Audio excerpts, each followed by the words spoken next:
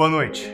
Seja bem-vindo ao Congresso Brasil Paralelo, nessa noite tão especial em que lançamos o nosso último episódio, Impeachment, do apogeu à queda. Antes de começar, eu tenho uma informação muito importante para você.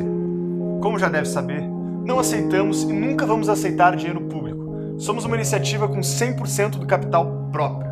Isso é o que garante a nossa liberdade e independência na hora de produzir o conteúdo. Há poucos meses atrás, lançamos o nosso primeiro capítulo, que dava início a uma série de cinco episódios, totalmente gratuitos. Eles foram vistos por mais de um milhão de pessoas, tornando-se o maior congresso online do país. Acontece que apostamos em construir isso junto com o povo brasileiro, propondo que fundassem conosco a primeira mídia independente do Brasil. São aulas com grandes especialistas abordando e aprofundando os temas mais relevantes da atualidade.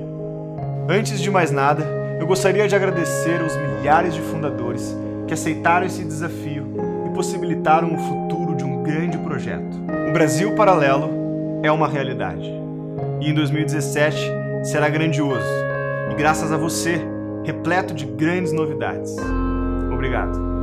A grande notícia é que essas vagas que eram limitadas, após o sucesso da primeira etapa do projeto, nos estruturamos para receber novos membros fundadores que terão acesso, por tempo limitado, ao preço promocional anterior, a mais 20 palestras extras, além das 68 que já tinham disponíveis, e acesso ao grupo fechado de discussão da Brasil Paralelo.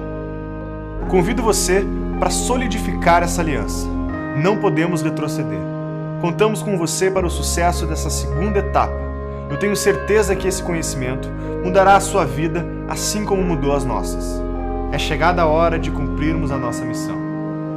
Fique agora com o último episódio e faça parte do Brasil Paralelo. Até breve.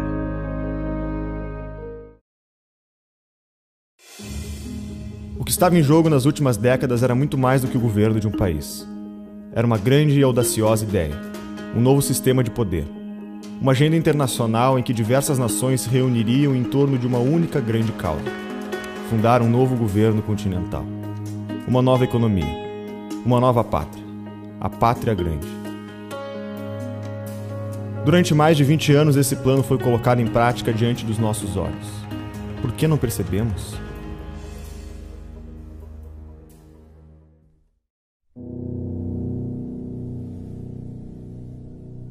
Giusto. Di qui dobbiamo portare fuori la pelle. Senza piegare la schiena. Vuoi continuare a lavorare ancora per il partito? Certo. La galera ci fa stare sempre insieme, eh? Milano. E adesso tu. Ce l'hanno proprio rotti. Eh? Tussi Enrico, nato a Brescia nel 1898, giornalista. Condannato ad anni 13 per ricostituzione del Partito Comunista. Irriducibilmente avverso al regime e alle istituzioni. Di animo perverso, capace di ogni indegnità e di ogni infamia. Por quase toda a história da República, o Brasil foi governado por poderes autoritários, ou por representantes de velhas oligarquias formadas por famílias que concentravam um grande poder econômico. A promiscuidade das relações entre as famílias e o Estado foram transformando nosso capitalismo em um sistema patrimonialista e nossa política em grandes trocas de favores. No patrimonialismo brasileiro, as grandes empresas são quase sempre sócias do Estado o único cliente que pode remunerá-las à altura dos serviços que prestam. Por isso, elas acabam se incorporando ao estamento burocrático, de que falava o antigo sociólogo brasileiro Raimundo Faoro. O Raimundo Fauro foi um dos fundadores do PT. E ele tinha a teoria de que no Brasil a luta de classes não é entre proletários e burgueses. É entre o povo e o que ele chamava estamento burocrático, os donos do Estado. Os caras que se apropriam da máquina estatal e a usam para a sua família, para o seu partido, para os seus amigos, etc, etc. E precisava quebrar o estamento burocrático. E o PT falou, ah, boa ideia, vamos fazer isso. Só que ao mesmo tempo eles estavam intoxicados de Antônio Gramsci. E o Antônio Gramsci ensinava o seguinte, nós temos que tomar o poder mediante infiltração, ocupação de espaço, revolução cultural. Então, infiltrando aqui, infiltrando ali, ocupando espaço, eles ocuparam o Estado inteiro e eles viraram o estamento burocrático. Você está entendendo? E, portanto, virar o telhado de vidro. Mas a história que queremos contar só começa a se revelar no início da Guerra Fria, momento em que o movimento comunista passava pelo seu auge de organização no mundo, inclusive no Brasil. A penetração da ideologia comunista nos quartéis e nos discursos políticos da época, junto com a articulação dos guerrilheiros espalhados pelo Brasil e pela América Latina, ameaçavam um golpe revolucionário contra a República. As Forças Armadas Brasileiras, com amplo apoio da sociedade civil, que se organizou em mais de 40 marchas espalhadas pelo território brasileiro, com milhões de pessoas nas ruas. Acabam tomando poder no que hoje é conhecido como golpe de 1964 ou a Contra-Revolução de 1964. O Brasil já tinha passado por outras intervenções militares na época. A grande diferença dessa vez foi que os militares não agiram apenas para impedir um golpe, mas assumiram por 20 anos a execução do governo para si, acabando com um processo de voto direto para a presidência no período que ficou conhecido como regime militar. Durante o regime militar, enquanto alguns grupos stalinistas, inspirados na Revolução Cubana, partiram para a luta armada com apoio institucional de Cuba e do Serviço Secreto Soviético, outros grupos de esquerda começavam a seguir as novas diretrizes da Internacional Comunista, que agora tinha como foco principal travar uma batalha silenciosa no âmbito cultural. Você veja, em 64, o pessoal comunista, que tinha caído do cavalo, decidiram, falou, peraí, algum erro nós cometemos, agora nós temos que estudar um negócio para ver o que é e começaram a ler o tal do Antônio Gramsci. E aos poucos foram mudando a estratégia e adotando né, a, a, as vias estratégicas que acabaram levando, ele, levando os comunistas, primeiro, a ter hegemonia cultural, né, não intelectual já não tem mais, mas hegemonia cultural ainda tem, e, por fim, a conquistar o governo. Ao longo um processo que durou 40, 50 anos. Os métodos de Gramsci preconizavam a infiltração generalizada e a ocupação dos espaços nos meios artísticos, centros universitários e na mídia, com o objetivo de aos poucos criar uma hegemonia de pensamento. Então, quer dizer, o governo militar não entendia nada do que estava se passando. O que os comunistas estavam fazendo, eles estavam perseguindo os, comunistas lá no meio do mato e os comunistas tomando as escolas. Você vê dois sinais de, de estupidez do governo militar. Primeiro, criou a sindicalização obrigatória dos jornalistas. Quem fez a campanha sindical? O Partido Comunista. Como é que eu sei? Eu estava lá e eu ajudei. É? Então o partido sindicalizou todo mundo e já fichou todo mundo. Então, ao fim da campanha de sindicalização, o partido tinha dizer, o cadastro total dos jornalistas do país, sabendo quais poderiam ser colaboradores, quais não, etc, etc. Nos anos seguintes, em todos os sindicatos de jornalistas do país, quem mandava? O Partido Comunista. A hegemonia consistia no controle do imaginário popular e da cultura, de modo a fazer do partido o poder onipresente e invisível, para que as pessoas passassem a raciocinar nos termos da linguagem socialista, sem que se dessem conta. Enquanto a direita política brasileira terceirizava o combate dos seus inimigos aos militares, a implementação do esquema gramscista foi obtendo sucesso no Brasil, de um modo que nunca tinha obtido em qualquer outro país do mundo.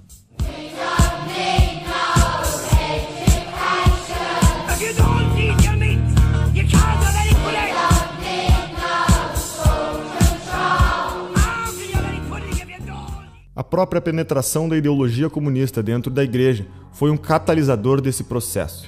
A teologia da libertação uma forma de subversão religiosa fomentada pela KGB na América Latina, promovia o casamento perfeito entre o marxismo e o cristianismo. Uma ameaça deliberadamente concebida para minar a igreja e desestabilizar o Ocidente por meio da subordinação da igreja a uma ideologia política ateísta. Em 1979, Lula, o então líder do movimento sindical em São Paulo, organizava suas greves em reuniões secretas dentro da igreja de Frei Beto, um dos principais expoentes da teologia da libertação que viria a se tornar um dos principais mentores de Lula no futuro.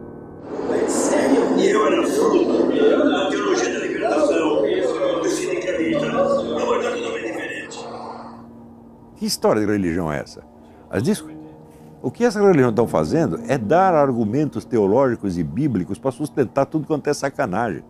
É uma imitação histérica de linguajar é, teológico, bíblico, tá certo? em razão do que existe de mais baixo no ser humano. No dia 28 de agosto de 1979, ainda durante o regime militar, o então presidente João Figueiredo proclama a lei da anistia, o que acelera o retorno de antigos guerrilheiros exilados e outros grupos mais radicais ao Brasil. Em 1980 nascia o Partido dos Trabalhadores, fruto da fusão entre o movimento sindical, a esquerda gramichista, guerrilheiros que retornavam do exílio e discitores da igreja que viam em Lula o ponto de convergência entre todas essas correntes. O modo comum petista de pensar já havia se tornado tão habitual e natural entre as classes falantes do país que os liberais e conservadores, inimigos potenciais dessa corrente, abdicaram de todo o seu discurso próprio e, para se fazer entender, tinham de falar na linguagem do adversário, reforçando ainda mais a hegemonia ideológica. Nós levamos publicidade para mais de 8 mil veículos de comunicação, quando antigamente se contentava em distribuir entre meia dúzia que se auto-intitulava a imprensa nacional. E eles dominavam então a grande mídia e ao mesmo tempo dominavam a mídia nanica alternativa, fazendo de conta que estavam contra a grande mídia, que eram eles mesmos, meu Deus do céu. Estou falando, esse negócio de raciocinar por duas vias, isso é característica comunista.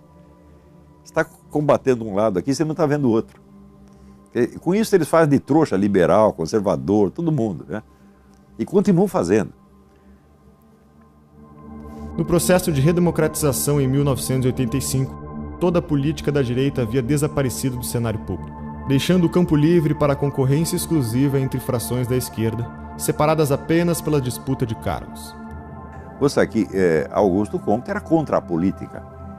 Ele achava que as questões têm que ser resolvidas por técnicos e cientistas, sem dizer, o debate ideológico. E os milicos acreditavam nisso, porque eram positivistas desde o tempo do Império sobrou essa mentalidade positivista na cabeça de pessoas que nem sabem quem é Augusto Conte. Né? Você pega todos esses generais, quantos leram Augusto Conte? Nenhum, mas sobrou. Isso, né? é, então, com essa mentalidade tecnocrática positivista, eles achavam que, que tinha que reprimir toda a atividade política e transformaram os políticos em simples office boys. Hum? Ora, Enquanto isso, a esquerda estava se organizando, se fortalecendo e entrando num autoexame muito profundo. Os debates que eles tiveram em 64, 65, a respeito dos seus próprios erros históricos, etc., foi uma coisa muito séria.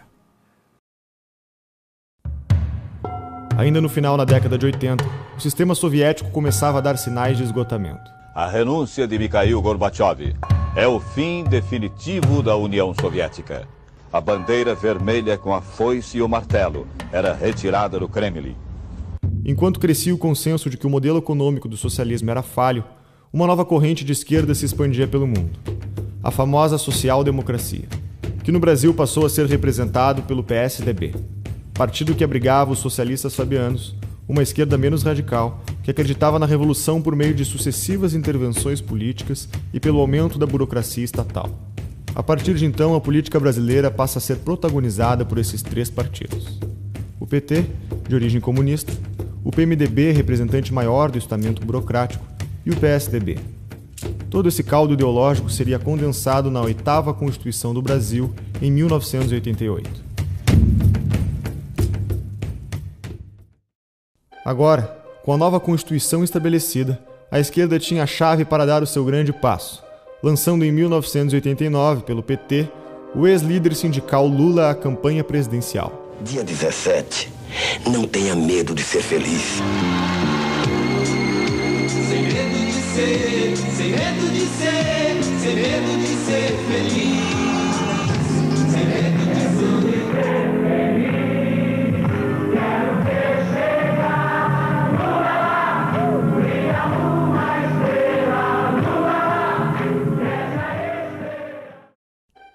A campanha com o slogan Sem Medo de Ser Feliz não previu o impacto e o descrédito do socialismo frente à população. No mesmo ano que cai o Muro de Berlim, a vitória das eleições presidenciais no país foi para o candidato da oposição a Lula, Fernando Collor de Mello.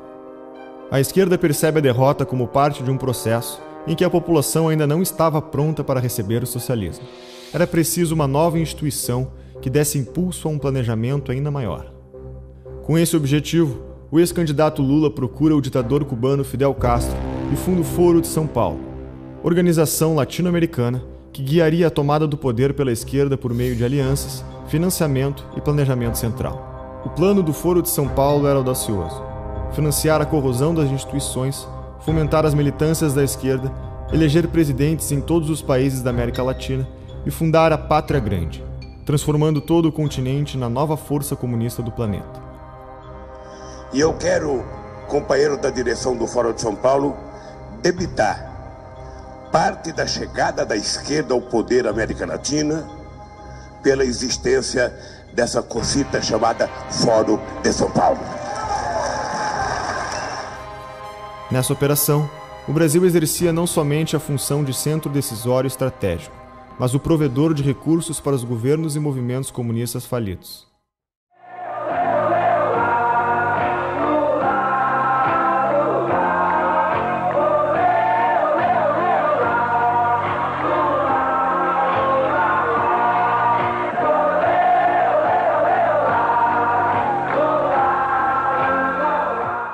Com toda essa estrutura criada com o controle total da narrativa política do país, ficaria fácil para a esquerda levantar a sua militância contra o então presidente Collor, que sofre o primeiro processo de impeachment da nova República, sob acusações de irregularidades na sua campanha. Nos anos seguintes, a política nacional foi marcada pelo protagonismo da oposição petista, que era a força mais ativa nas campanhas que sensibilizaram o povo para o fenômeno de corrupção entre os políticos, levantando para si a bandeira da moralidade e ética na política para grande parte da população brasileira que nunca foi petista de formação, certo? Mas que embarcou no produto que o PT vendia. Que produto era esse? Pós-ditadura, justiça social, transparência na gestão, portanto, um Brasil completamente diferente, digamos assim, dos grandes coronéis em geral. Enquanto isso, o Foro de São Paulo, ao longo da próxima década, elegeria os presidentes e atuaria direto nas políticas internas dos países Uruguai, Nicarágua, Venezuela, Bolívia, Chile, República Dominicana, El Salvador, Equador e Brasil. Em 1994, Fernando Henrique Cardoso assume o governo brasileiro, sendo eleito pelo PSDB. Começava a implementação da ideologia socialista fabiana por meio de um programa de fomentação de ONGs, abrindo a educação brasileira para a intervenção da ONU e crescendo os investimentos em movimentos sociais como CUT, UNI e MST. FHC estabilizou a economia com um plano real e o tripé macroeconômico baseado em câmbio flutuante, meta de inflação e meta fiscal.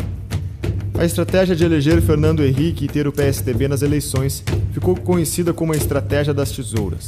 Traçando uma falsa oposição ao PT, o povo tinha a ilusão de ter duas opções de votos diferentes quando na verdade tratava-se da disputa de cargos para aplicar a mesma ideologia.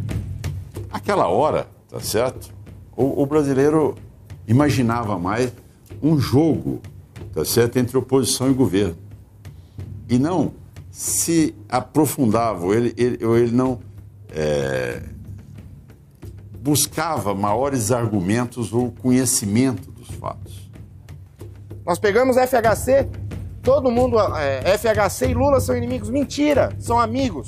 FHC é um fabianista que começou a implantar o comunismo no Brasil, apoiado pelo Lula. Lula continuou. Por que, que você acha que mar marxista, comunista, estuda dialética? Dialética é a arte de você pensar duas coisas ao mesmo tempo, nunca uma só. Então, quando se cria, por exemplo, o, o, o PT e PSDB, já foi com essa ideia. O Lula sintetizou isto há muitos anos atrás, quando ele disse: Eu e o José Serra inauguramos uma nova modalidade de política. Qual é a nova modalidade de política? Nós dividimos o território. Você governa um pouco, eu governo um pouco, mas é sempre nós. É fantástico isso. Vocês querem conquista melhor do que numa campanha neste país a gente não ter nenhum candidato de direita? Em 2002, o PT entende que a população está finalmente preparada para receber o partido no poder e investe pesado em marketing por meio do publicitário e chefe de campanha Duda Mendonça, que acabaria sendo preso no futuro por receber propina.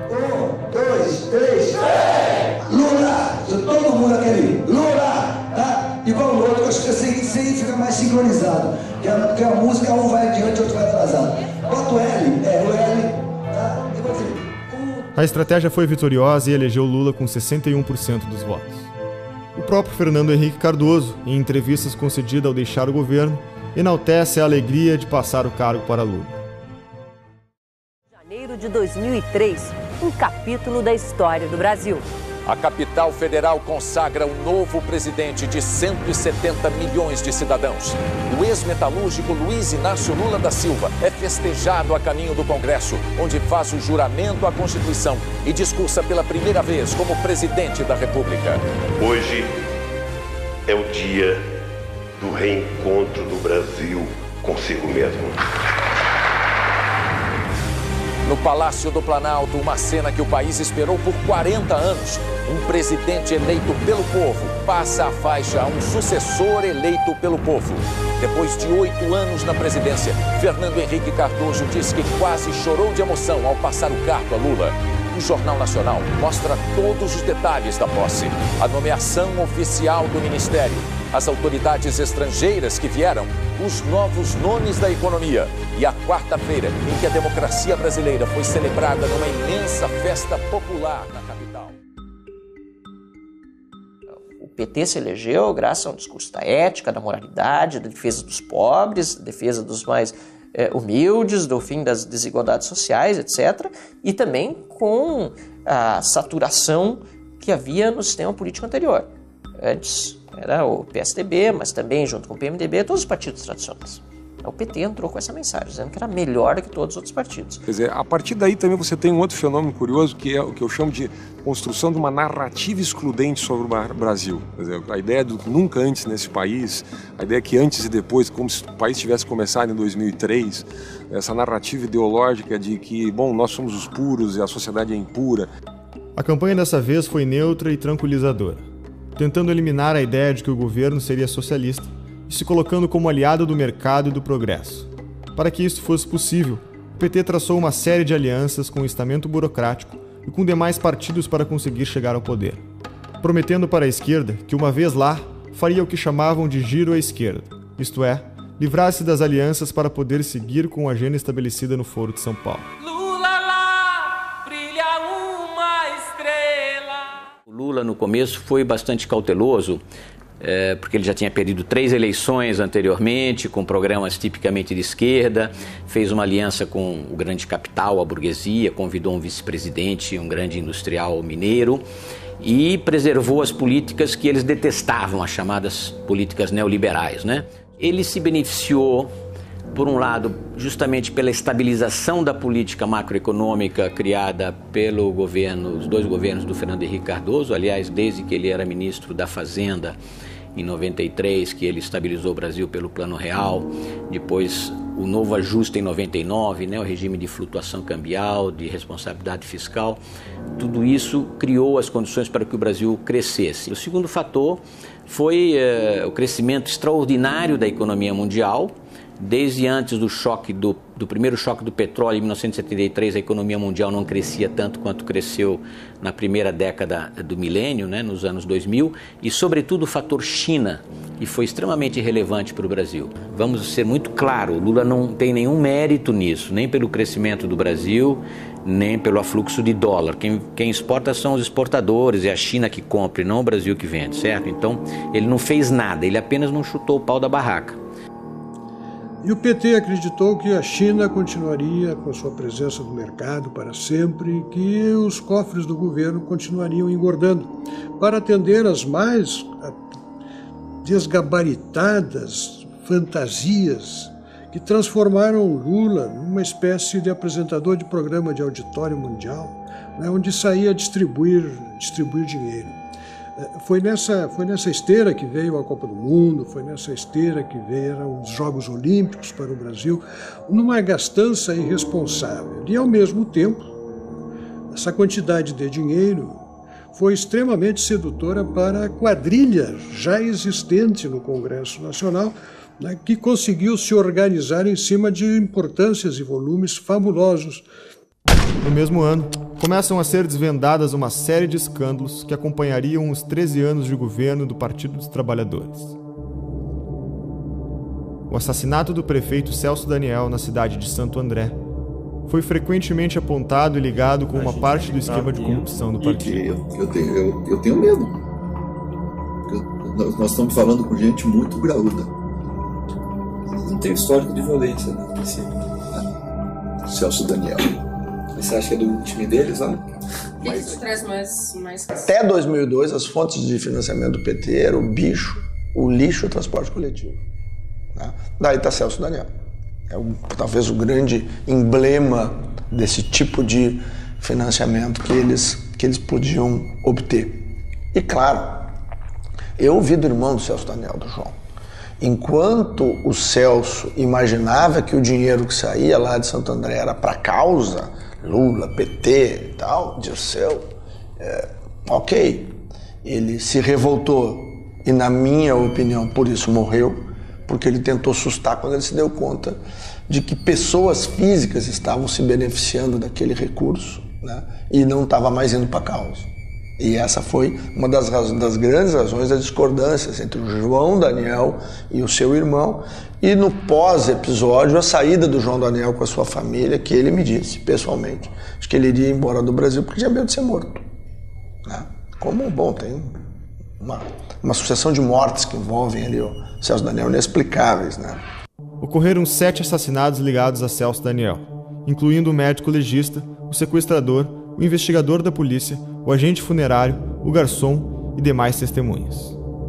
Com o caso de Celso Daniel abafado, o plano do partido continuava a executar o giro à esquerda, de forma a depender cada vez menos do apoio político e das alianças com os demais partidos. É por razões políticas. Construíram durante anos uma política de conciliação com a direita, construíram durante anos uma política de conciliação com o grande capital, construíram durante anos uma política que privilegiava a luta institucional e criaram uma armadilha da qual não conseguiremos sair a não ser rompendo com essa política. Portanto, adotando uma outra estratégia. E é muito difícil adotar uma outra estratégia, não é fácil.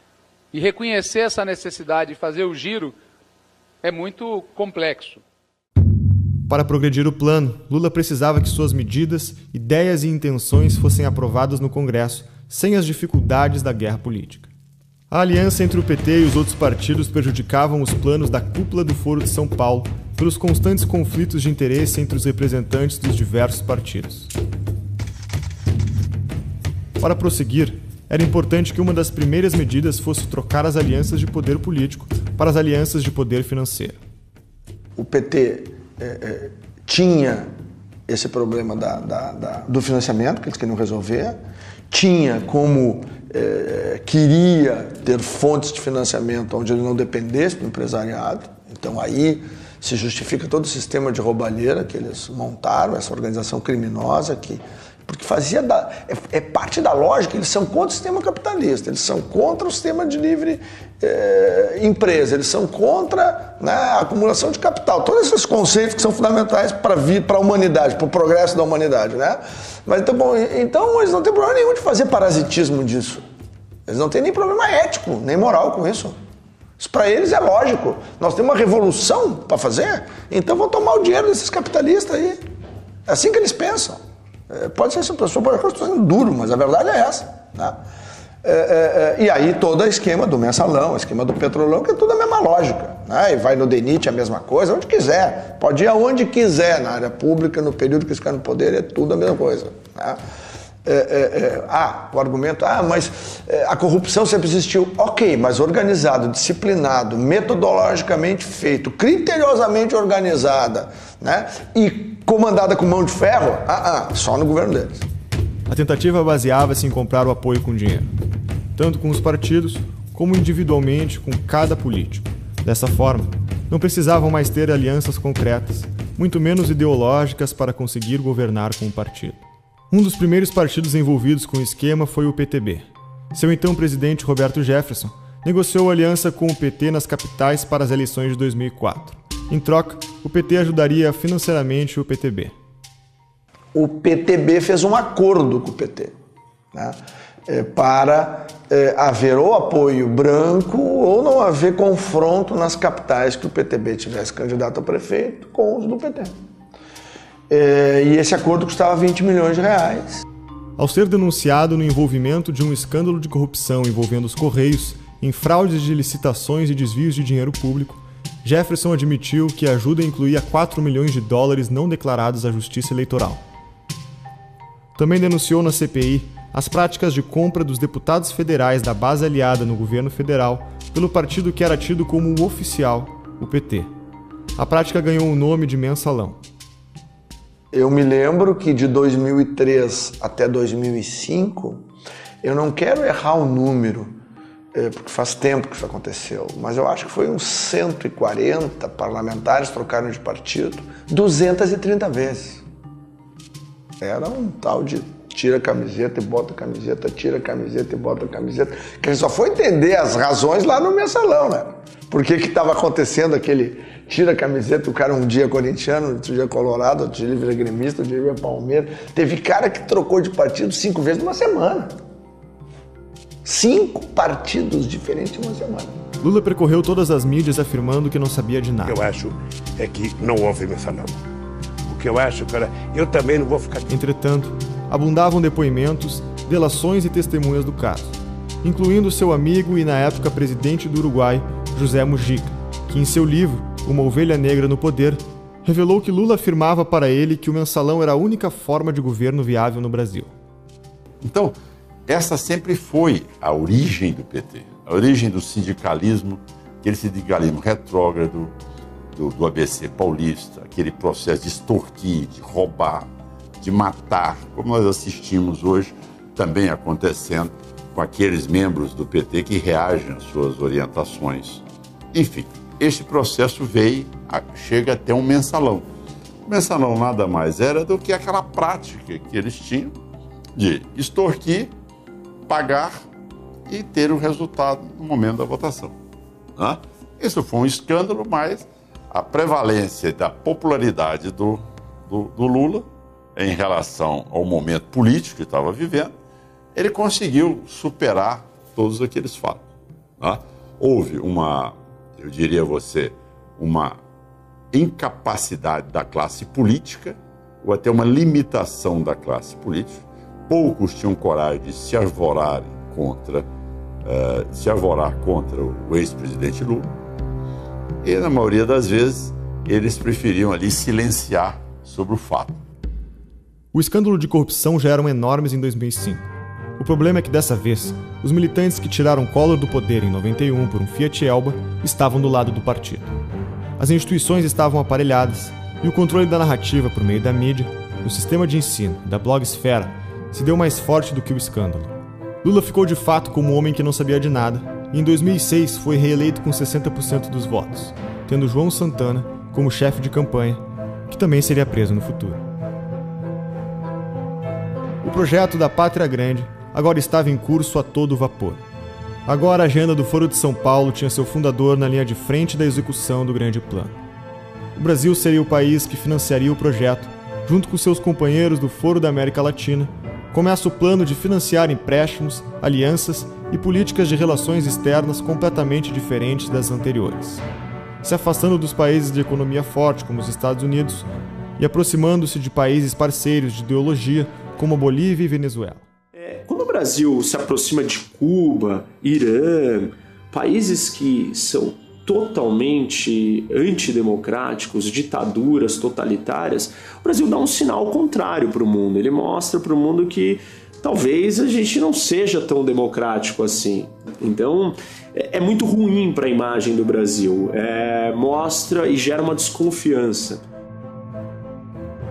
No ano de 2008, quando o mundo passa por uma forte crise frente ao crash da bolsa de valores, que significou o colapso de toda a economia mundial, mais uma vez populista, o presidente foi à mídia dizer que o Brasil não sofreria nenhum impacto.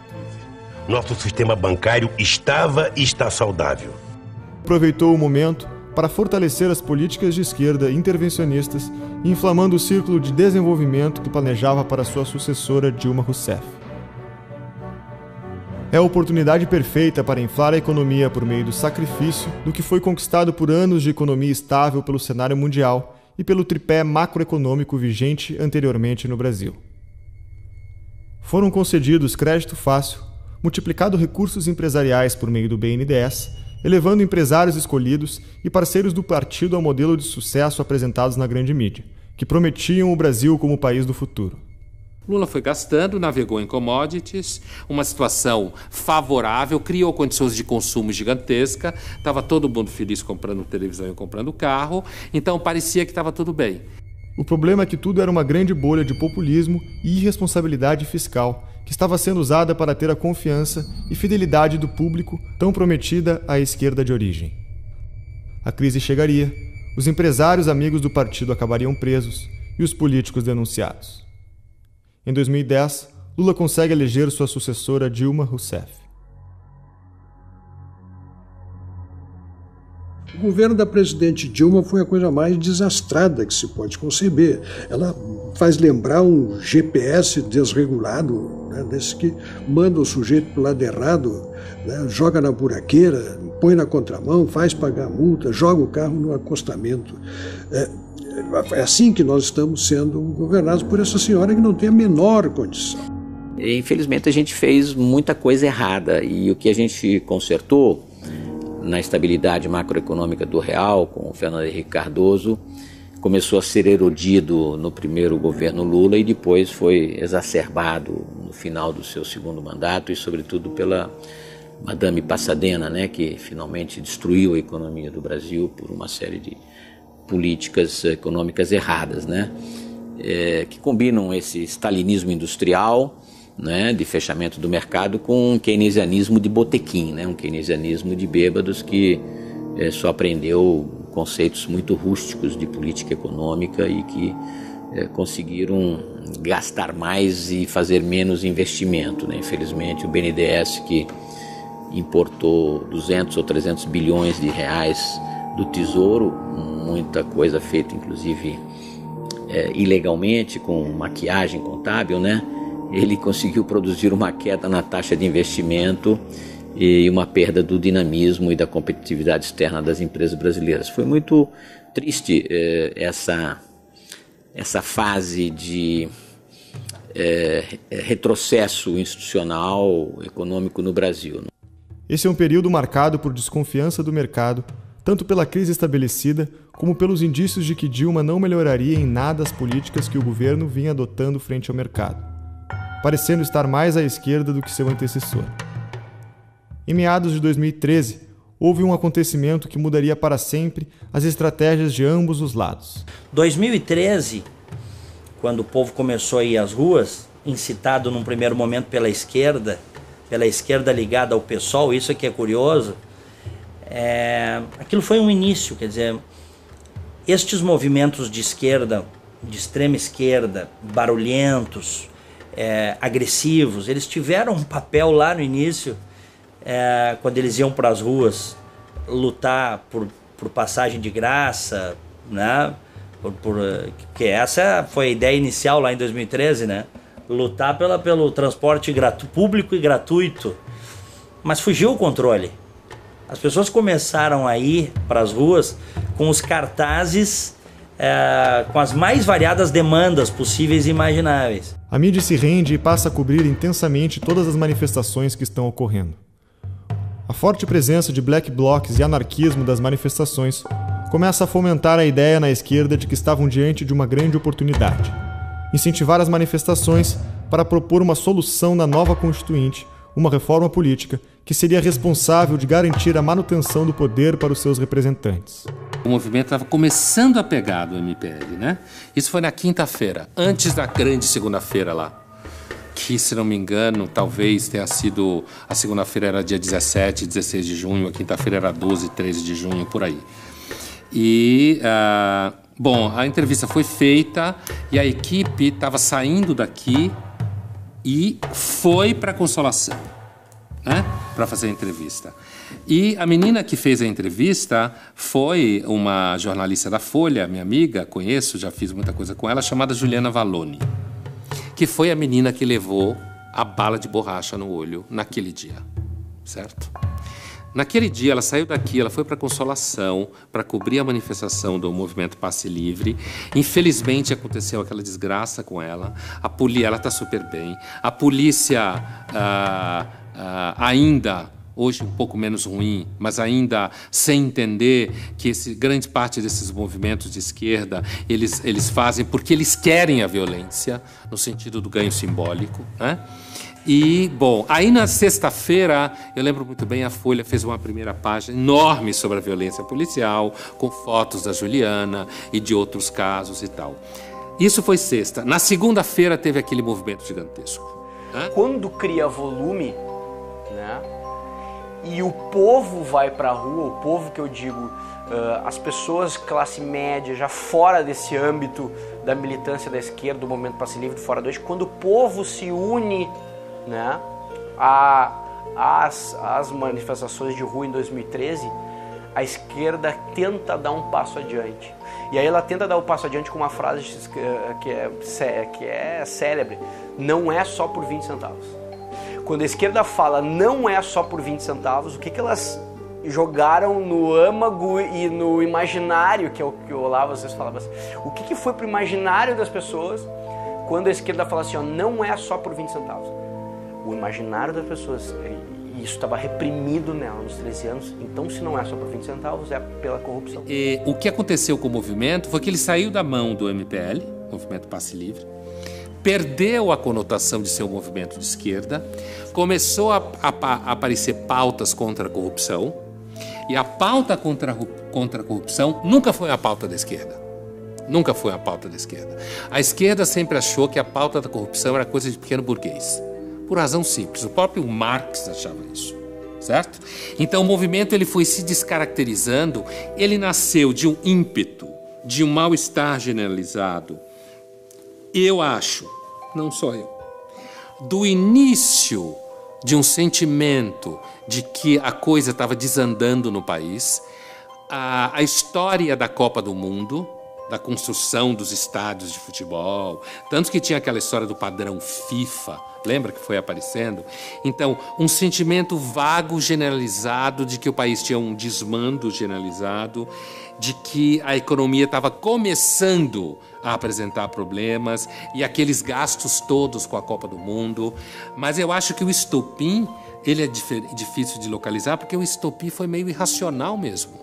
E a partir dali também entram as redes sociais, tem um papel fundamental, as pessoas começam a se dar conta de que elas não estão sozinhas. Muitas vezes o cara estava numa repartição, num escritório, quietinho ali, louco para criticar o governo, mas ele não sabia se ele podia. Daqui a pouco ele vê no Facebook que o cara que trabalha com ele, com quem ele nunca tinha trocado ideia, esse cara faz uma crítica, aí ele se sente, né, cacifado para criticar. As negociações com o povo, a cobertura midiática e as manifestações pegam um porte cada vez maior. Com novas reivindicações e alguns pontos levantados, começam a incentivar a mudança da forma do brasileiro pensar. Em paralelo às manifestações, surge uma força que seria fundamental para todo o processo. A Polícia Federal começa a monitorar as conversas do doleiro Carlos Habib Charter. O monitoramento das comunicações revelou que o doleiro Alberto Youssef, mediante apagamentos feitos por terceiros, doou um carro Land Rover Evoque avaliado em mais de 200 mil reais, para o ex-diretor de abastecimento da Petrobras, Paulo Roberto Costa. Paulo Roberto Costa foi preso e foram cumpridos seis mandatos de busca e apreensão no Rio de Janeiro. Nessas medidas iniciais, mais de 80 mil documentos foram apreendidos pela Polícia Federal, além de diversos equipamentos de informática e celulares. Para analisar todo o material apreendido nas primeiras etapas da investigação e propor acusações, o Procurador-Geral da República, Rodrigo Janot, designou em abril um grupo de procuradores da República. No mês que se seguiu, os integrantes dessa força-tarefa chegaram às conclusões que culminaram no oferecimento das primeiras denúncias da Operação Lava Jato. A Operação Lava Jato já passa de 36 fases de investigação e foi a responsável por desvendar o maior esquema de corrupção organizado da história do país. Uh, o juiz Sérgio Moro leva com muita capacidade e com muita inteligência e vai desmontando degrau por degrau. E aí sim vai chegando aos fatos concretos que são realmente estarrecedores.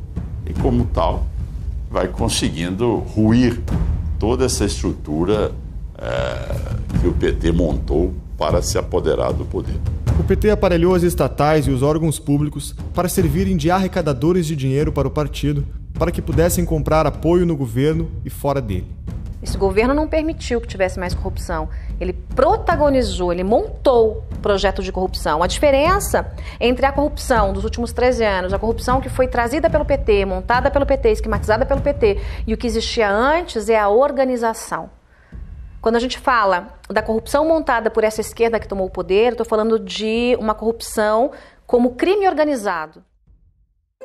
Em função dos grandes escândalos de corrupção do governo e do despertar político, quando a Dilma disputou a reeleição em 2014, foi uma campanha marcada pela polarização política muito forte no país. A disputa foi muito acirrada e as pesquisas apontavam a Aécio Neves, oposição de Dilma, como favorito. No decorrer da campanha, o resultado se inverteu. O processo foi tão polarizado que no momento em que a presidente Dilma Rousseff foi eleita, surgiram muitas desconfianças sobre o processo eleitoral, por ser conduzido por uma empresa venezuelana chamada Smartmatic, que manifestantes e formadores de opinião alegaram ser inauditável. Ela descumpriu a lei orçamentária o ano inteiro. E aí, quando chegou no final, não, vamos fazer um, um, projeto de lei que muda a meta. Como eu não consegui cumprir a meta durante o ano todo, fazer o seguinte: nós já estamos em dezembro, vai acabar o ano, e a meta é anual, como foi falado milhares de vezes né, durante, durante o processo de impeachment. De fato, a meta fiscal é anual.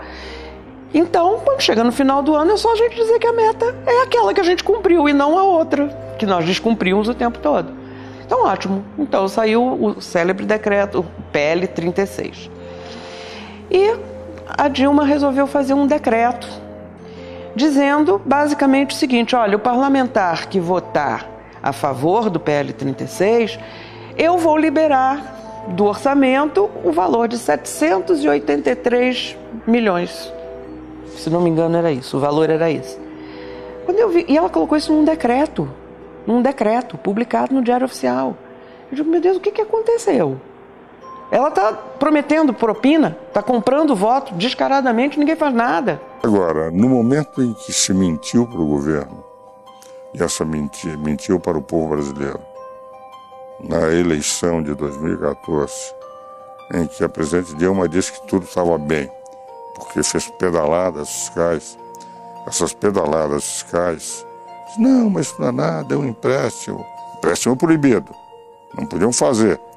A lei de responsabilidade fiscal proibia, a Constituição proibia, mas fez. Não, não foi nada, foram 40 bilhões de reais. Eles venderam uma coisa e entregaram outra. É mais ou menos o seguinte: você faz uma compra na internet, você está feliz na hora da compra. Aperta, compra, dá o número do cartão, mas depois você vê que foi enganado, recebeu um tijolo, o que o brasileiro recebeu. O presidente Dilma falou: nós temos a, a, energia mais barata do país ou do mundo. Nós temos a, a, gasolina mais barata, nós temos os juros mais baixos. Dois dias depois da eleição, o que, é que ela fez? Subiu juros, subiu gasolinas é, e a energia foi para as alturas. Então, assim, foi um pega, um pega mosca, foi uma, um drible. E aí as pessoas ficaram revoltadas. E ela ganhou por quê? E eu estou usando o termo não meu, termo do jornal A Folha de São Paulo, num editorial de primeira página, quando ele disse que houve um estelionato eleitoral, que o Brasil já estava falido. Ela enganou os eleitores, e dizendo que estavam as contas em ordem, quando o Brasil estava tão ruim que os primeiros gestos dela, depois de eleita, foi nós temos que ajustar tudo. Como é que nós vamos tapar os furos que nós enganamos que não existia para o eleitorado? Se nós analisarmos o conceito da lei, é o seguinte: eu só posso ter dinheiro que realmente eu recebi por tributos, por administração indireta, em estatais que deem lucro e passo, eu não posso tirar dinheiro de banco público. E ela tirou não 10 mil reais, não 100 mil reais, não um milhão de reais, bilhões de reais, para fingir que as contas estavam em ordem, quando já em 2015, a 14, quando ela foi eleita, o Brasil já estava falido. Eu tenho certeza que a inflação está sob controle e ela está é, inteiramente. Como os beneficiários recebem dinheiro dos programas sociais pela Caixa, o governo federal deve manter, junto à instituição financeira, uma conta com saldo positivo para que o banco faça seus pagamentos. À medida que os pagamentos são feitos, o governo deve sistematicamente depositar mais dinheiro nessas contas. Contudo, a partir do último trimestre de 2013, o governo passou a acumular amplas dívidas em seu saldo com a Caixa Econômica Federal. A questão é que quando o governo deixa de compensar a Caixa por meio desses depósitos sistemáticos, os governos estão maquiando os resultados de suas contas. É como você pedir para um amigo pagar uma dívida sua e, na hora de contabilizar tudo que você deve, não incluir nem o seu amigo nem a dívida original. Em 2015, a crise que assola o Brasil é a mais forte da história. Com a economia em gota d'água, uma presidente sem habilidade política para governabilidade e tendo como oposição 93% da população brasileira, uma série de manifestações começam a ocorrer e o surgimento de diversos grupos que reivindicariam mudanças. E um milhão de pessoas foram às ruas em 2013 no Brasil. E 40 milhões de pessoas mudaram de opinião com relação à aprovação do governo, que era o governo já do PT. A gente percebeu que ir às ruas tinha um efeito potencial gigantesco. E isso só não estava acontecendo por falta de coordenação. O movimento ele nasceu justamente com esse objetivo, não como uh, simplesmente um movimento antipetista, um movimento anticomunista, mas como a ideia de se tornar né, um movimento liberal e levar essas ideias liberais para a rua, né, onde de fato as coisas acontecem, e a partir dali transformar o país. Liberal, nós queremos introjectar liberalismo político e também o liberalismo econômico. Então nós somos pautados em, em, no classicismo da uh, do que, que era o liberalismo político e do que, que era o liberalismo econômico, para que isso comece a influenciar uma base crescente de brasileiros e comece a entender que nós não temos isso, apesar de nós acharmos que temos algumas coisas boas de ambos, e nós não temos nada de bom de ambos. Temos aí um sistema autocrático e que, de forma, de certa forma, é oligarquista, premeia oligarquias políticas e premeia oligarquias econômicas no comando da coisa pública e no comando da coisa econômica. A banda Louca Liberal ela surgiu no dia 15 de março de 2015. Ela foi um, movimento espontâneo, uh, orgânico, que surgiu de pessoas que se conheceram fazendo as manifestações nas ruas.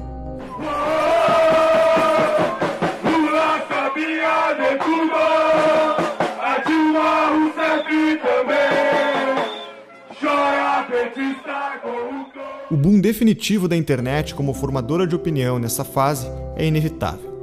O povo passa a ter total descrédito nas plataformas de mídia tradicional por uma guerra de narrativas que estava imposta.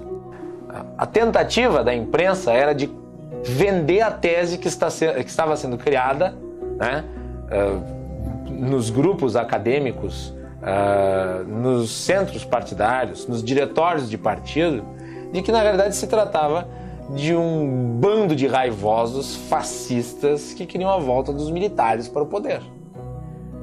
Havia, sim, um grupo de pessoas que gostaria da intervenção militar, a volta dos militares, ou seja lá o que for.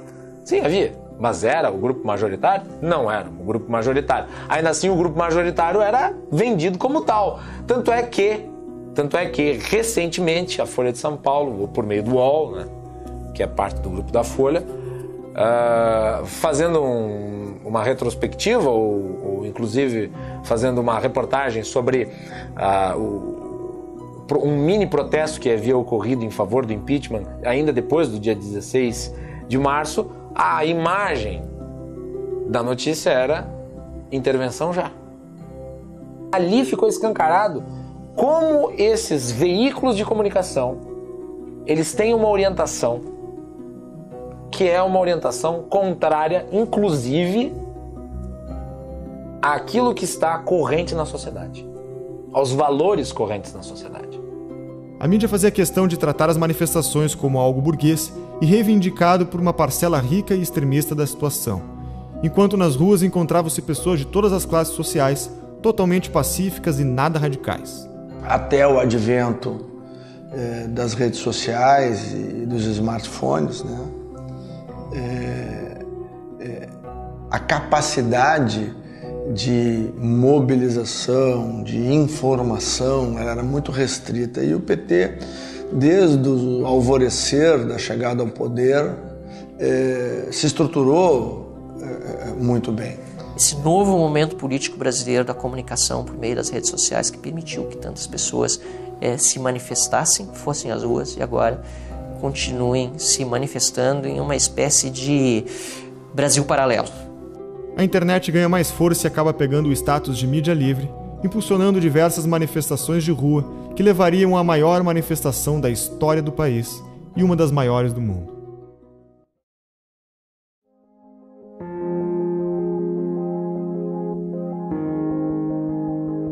No dia 13 de março de 2015, 6 milhões de pessoas foram às ruas com uma bandeira específica: impeachment da presidente Dilma Rousseff. E a gente falou assim: ó, gente, vamos fazer uma coisa, vamos fazer um acampamento em frente ao Congresso. É uma forma da gente ficar lá e dizer que a gente só sai quando Eduardo Cunha recebeu o impeachment.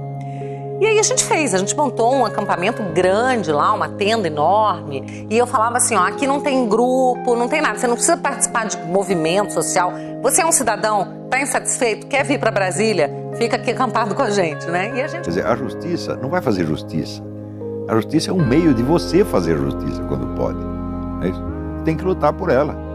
Quando o presidente da Câmara, Eduardo Cunha, que também estava envolvido em esquemas de corrupção, e precisava de munição para negociar com o PT, atacou o processo. O cenário era desastroso para um plano de poder que já durava anos. A Lava Jato já passava de 30 operações e continuava a progredir com imenso apoio da população. O ano de 2015 foi marcado por mais de seis grandes manifestações de rua, totalizando mais de 10 milhões de pessoas nas ruas. O processo de impeachment estava aceito e, na presidência da casa, o partido encontrava um adversário de oposição. Quando a Lava Jato chama Lula para depor para investigação sobre o apartamento triplex e um sítio em Atibaia, que teria recebido em conluios com o um esquema de corrupção do partido, a instabilidade aumenta e a presidente Dilma Rousseff toma como iniciativa para blindar juridicamente o presidente, nomeá-lo como ministro. Dessa forma, apenas o STF poderia julgá-lo, tirando da mira da 13ª Vara de Curitiba, que eram especialistas em lavagem de dinheiro e responsáveis pela Operação Lava Jato. Alô? Alô? Lula, deixa eu te falar Fala, uma querida. coisa. Ah. Seguinte, eu tô mandando o Bessias junto com o papel pra Ah. gente ter ele e só usa em caso de necessidade, que é o termo de posse. Aham. Tá? Ah, tá bom, tá bom. Só isso, Ao você mesmo- espera ah, tá aí bom. que ele tá indo aí, Tá bom, tô aqui, fica aguardando. tá? Tá bom. Tchau. Tchau, querida. Foram quase 10 mil pessoas que chegaram na frente do Palácio do Planalto sem serem convocadas, sem serem chamadas, sem- só porque tiveram notícia de que estava acontecendo isso e que seria dada posse ao Lula. As pessoas foram chegando, foram chegando, foram chegando. Eu nunca tinha visto uma coisa igual. E foi realmente a hora que eu disse: não, eu, eu acho que o povo é, é, se conscientizou de que pode fazer alguma coisa. O juiz Sérgio Moro, responsável pelos casos da Operação Lava Jato, se ampara no processo de apoio popular e vaza os áudios que comprovariam que a nomeação de Lula para ministro era uma esquiva jurídica e estava sendo tratado dessa forma. A posse é interrompida e o processo de impeachment e investigação continuam tramitando. O vice-presidente eleito Michel Temer, do PMDB, ao ver que a situação não tem volta, decide abandonar o apoio ao governo. Vaza uma carta endereçada para Dilma Rousseff, onde demonstra sua insatisfação com o cargo da presidente. A partir daqui, o plano do PMDB era colocar Temer na presidência. Cada vez mais fraca e sozinha, Dilma Rousseff e Lula continuam tentando o apelo do povo ao denunciar o processo como um golpe. Entretanto, o Tribunal de Contas rejeitou com unanimidade as contas públicas do governo Dilma. O processo de impeachment foi aceito na Câmara dos Deputados e no Senado, e regulado pelo Supremo Tribunal Federal. Quando me perguntavam, Janaína, tem elementos para o impeachment? Eu sempre respondia, sobram elementos. Né? Eu acho que no contexto que nós vínhamos vivendo, o país vinha vivendo, o impeachment demorou demais. Além, além de ah, ser leniente com todo o escândalo do petrolão, além de mandar o dinheiro que foi utilizado para pagar as, as empreiteiras, além de negar para o povo e para a imprensa, inclusive durante o, processo eleitoral, que a, Petrola, que a Petrobras estava praticamente quebrada por força de tudo isso que eles fizeram, essa sangria, a presidente, durante todo o processo eleitoral, asseverou nos palanques que as contas públicas estavam saudáveis. Eu lembro dos discursos, né? Ela chegou a dizer que ela garantia os números da economia. Como dizer que um processo que foi regulado pelo Supremo, ele é fruto de um golpe? Supremo que foi composto, em sua maioria, pelo governo que até então estava no poder, pela, pela maioria é, indicada né, pelo presidente Lula e pela presidente Dilma. Veja que dos oito componentes do Supremo, dos onze componentes do Supremo, oito vêm dessas indicações.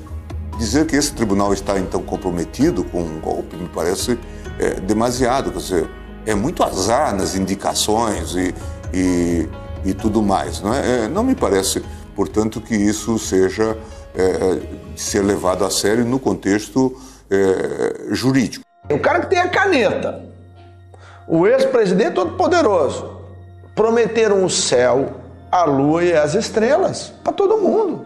Estava tudo prometidinho. Cargo, dinheiro, o que quisesse, para votar contra o impeachment. E o impeachment foi votado. Esses duzentos e tantos votos, nós oposicionistas, Arrumamos aonde? Na base da Dilma, na base do PT. Por quê? Poder da nova cidadania, pressão popular. Aquelas milhares de pessoas lá na rua, batendo tambor, exigindo uma nova, um novo caminho para o Brasil, aquilo é mais forte. E a gente tem que ter clareza de que parlamento é caixa de ressonância da sociedade, não é o contrário, não. A gente tinha uma, uma expectativa muito grande, muito forte que o impeachment ia sair. Então a gente não estava ainda, putz, nada vai acontecer. A expectativa já era grande. Né?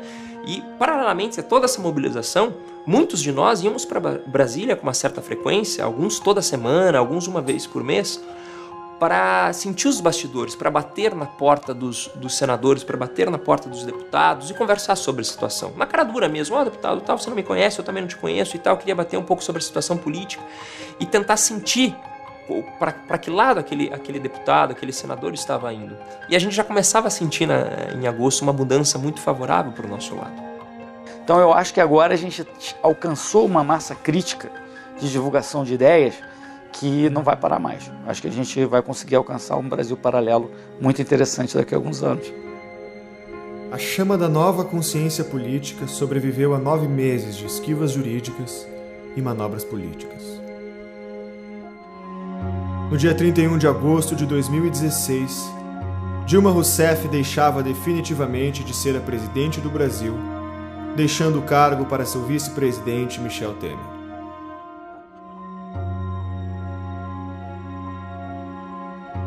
A história do Brasil, pela primeira vez, sem a mídia e sem partidos políticos, tinha você como protagonista. O povo bradava o grito de liberdade ao se erguer contra aqueles que imaginavam poder manipulá-lo e que durante décadas lhe roubaram a voz.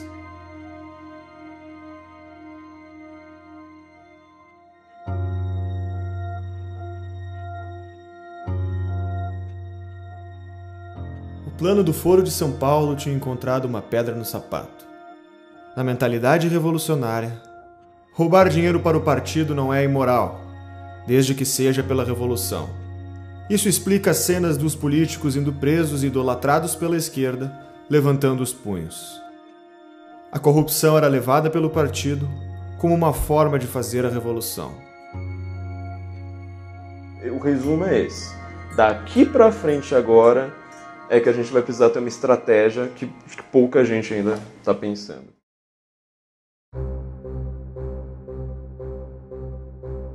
O Brasil tem 35 partidos políticos no poder.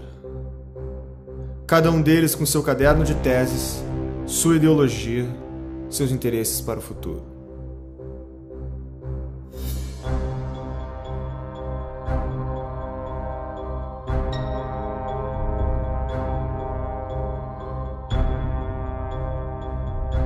Que nos permitiu esse despertar? Seria muito ingênuo achar que estamos no comando. Quem dita as regras do jogo? O que escondem de nós hoje? E o que vamos saber daqui a 15 anos quando olharmos para trás? Por que as notícias chegam com tanto atraso? A quem cabe a denúncia do impensável e do indizível?